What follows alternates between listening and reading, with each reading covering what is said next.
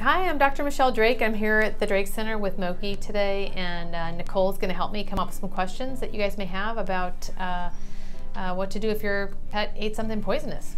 So, Dr. Drake, what do I do if my pet eats something poisonous? So first of all, don't panic. Um, we do see a lot of toxicities in the practice, and that's because dogs mostly like to eat things that they shouldn't eat. So some of the really common things that dogs will get into are medications, um, their own medications or uh, human medications accidentally. You wonder why a dog would, would chew open a bottle of pills and eat them, but they actually do. I had one dog who ate like six different types of medications one time. It was kind of a disaster. Um, but the good news is, for, even for that person, was the most important thing to do is to call us immediately.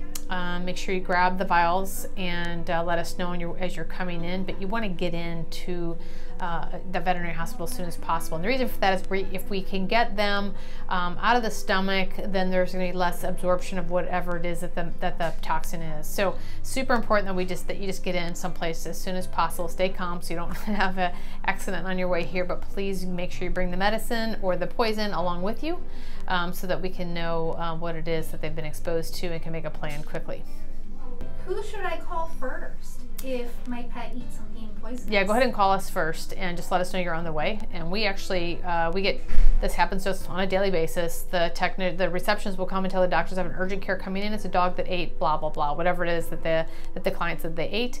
And so we're able to uh, get everything set up and ready to go, whether it's IVs, we're gonna start, you know, usually quite often it's we're starting with uh, inducing vomiting um, in the dog to get that out of their stomach and may follow with, you know, critical care um, and or like uh, maybe um, some type of absorptive material that we're going to pass the stomach tube and get that going also. So it really depends on what the poison is, uh, but most important is just to get here quickly. What items are poisonous to my pet? Um, well, certainly any kind of uh, medicine would be considered poison um, for sure. And uh, then oh, there's all kinds of, you know, things that are poisons to animals outside, like rats and um, gophers and things, those are meant to be something that's enticing for those animals. And so it's also enticing for a dog to eat. So dogs will all eat rat poison. Um, so certainly anything like that that's in the garden shed, or if they have a you know one of those containers and somehow the dog got it open, um, for sure those are all poisons, medicines of any kind, and then household cleaners, or you know I know you think it'd be strange that, that a dog would eat some of these things, but they do eat the strangest things.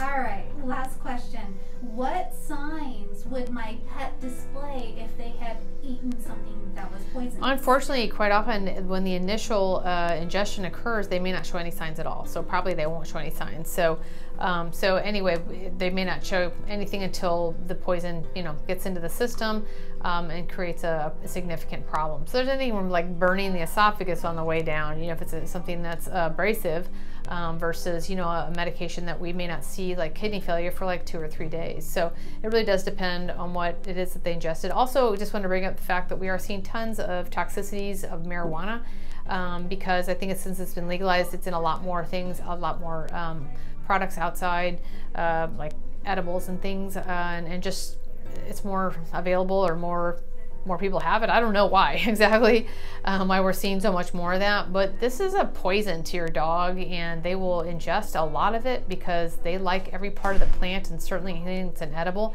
Not to mention some of them even have xylitol in them. So xylitol, which is an artificial sweetener, is extremely toxic to dogs.